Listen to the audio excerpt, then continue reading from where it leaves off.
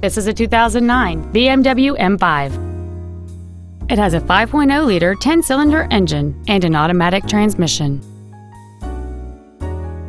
All of the following features are included. A power moonroof, heated front seats, a navigation system, high-intensity discharge headlights, a leather-wrapped steering wheel, a passenger side vanity mirror, a security system, traction control, a steering wheel with memory settings, and this vehicle has fewer than 38,000 miles on the odometer.